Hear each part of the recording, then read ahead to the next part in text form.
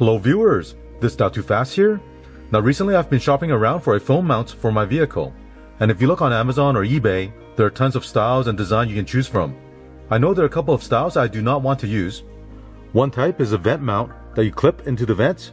The reason I don't like this style is because during winter, when you're blowing hot air, I don't want that hot air blowing onto the phone. And during summer, when you have the cold air blowing out, I'd rather have the cold air blowing into the cabin and not being blocked by the phone. The other type of mount I don't want is windshield mount. I prefer not having anything block my view while I'm driving. The third type of mount you'll find is one that sticks on your dashboard. And typically these are quite bulky. I don't think it looks very nice. And you also have the problem with the phone blocking your view. So I decided to go with this magnetic mount and I really like it. It's compact, well made, and best of all, it's very easy to use.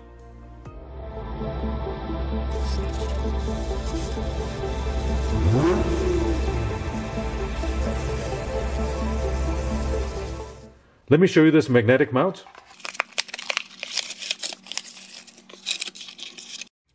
Let's have a closer look at this mount.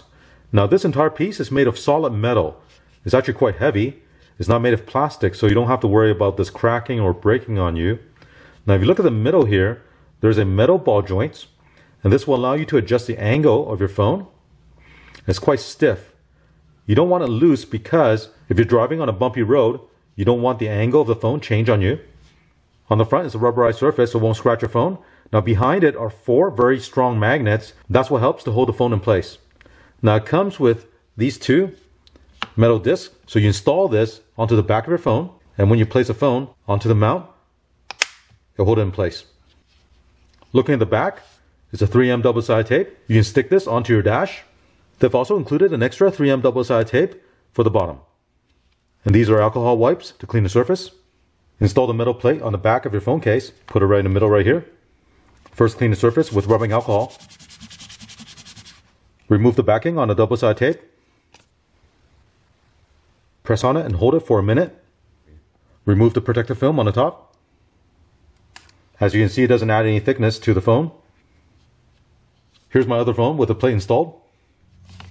They've also included this clear plastic sticker. If you want to install the metal plate directly onto the back of your phone, you can first install this clear sticker and then stick the metal plate on top of it.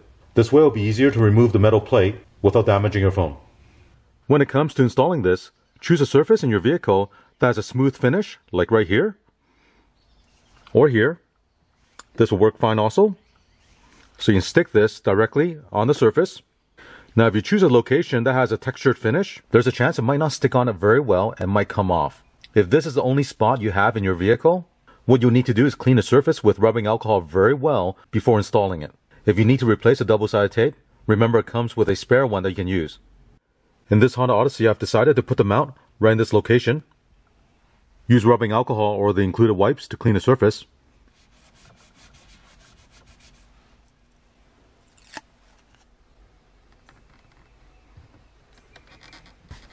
Now after you put it on, hold it down and put some pressure on it for a couple of minutes. This is very sturdy, it's not going to move around. You can adjust the angle that you want. Using it is very simple. Just place a phone on the mount. You can rotate it. I really like it, so I also installed one in my Nissan Pathfinder. This also makes it very convenient to plug in your charge cable. Overall, I really like this new car mount. It's compact, easy to install, and very simple to use. You can easily adjust the angle that you need, and it's a solid unit. You don't have to worry about it breaking after a couple of months.